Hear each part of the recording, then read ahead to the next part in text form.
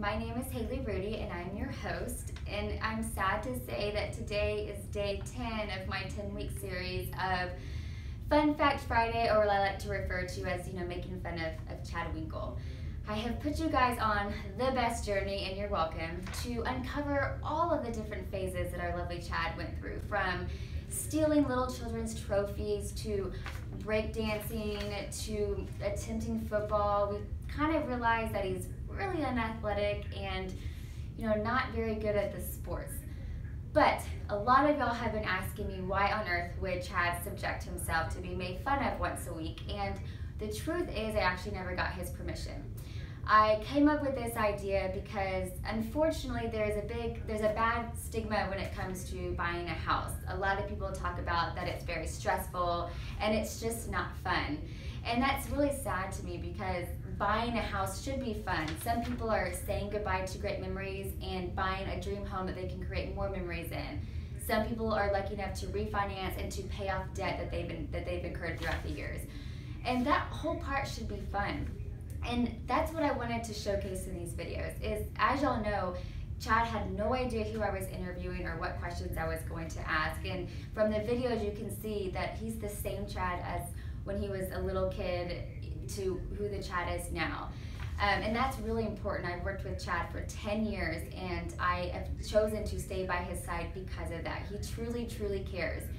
He has always told me from the get go always do what you love and, and be proud of your results.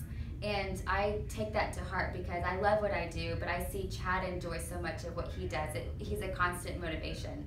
Let's make home buying process fun. Chad works with the most incredible agents. He has an incredible team. I'm obviously on the team and um, he truly truly enjoys what he does it's such a fun experience so let's bring back the fun in buying a house actually really funny but i joke about chad and his age but i'm about to bring him in here to interview and as you can see he's actually wearing the same outfit as me which we're going to have to ask him about because i think he thinks if he starts, you know, dressing with the younger crowd, because I'm a lot younger than him, that it'll, you know, knock off some years of his age, but we clearly know that that's not the case. So stay tuned, Chad's gonna be here and we'll interview him. Happy Friday, everybody. And as I previously mentioned, you are not seeing double. We are wearing the same outfit. Chad, how does this happen? Just pure luck, pure luck. So today's the last day. Are you sad? Are you excited? Like, tell me about this journey. I'm thrilled thrilled that this is it. Question for you: Out of all the videos, which one was your favorite, aside from all of them? I don't know actually. Um, it's I, I love the ones when you're interviewing uh, family and friends. Those are the best. Were you nervous because you had no idea what I was uh, doing? Yeah, of course. Okay. Bluetooth was a big a big hit. I got a lot of questions on it. Uh-huh. Have you since purchased any new devices? I have actually the, the latest and greatest cordless Apple AirPods. Is that what they're called? How are you liking them? Uh, I, I think they're pretty fantastic.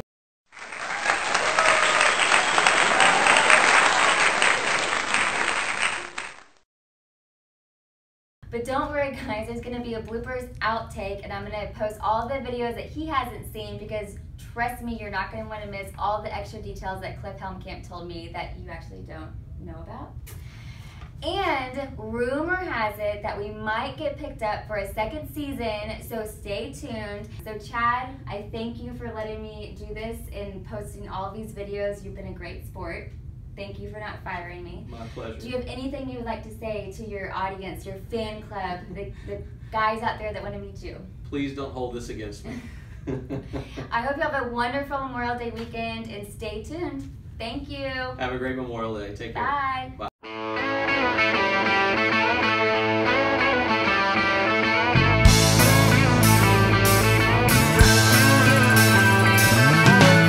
No one told you